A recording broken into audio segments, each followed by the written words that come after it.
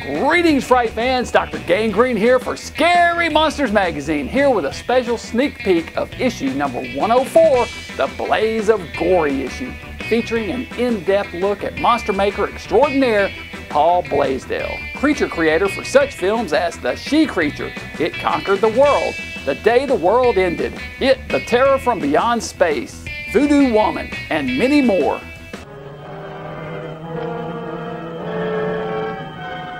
You'll feel a shiver up your spine and scream with delight as we examine William Castle's The Tingler.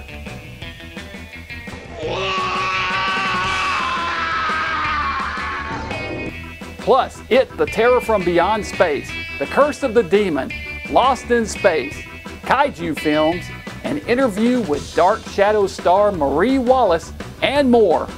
Plus, I interview Hollywood star David Frankham, who starred in not one, not two, but three movies with the Merchant of Menace, Vincent Price.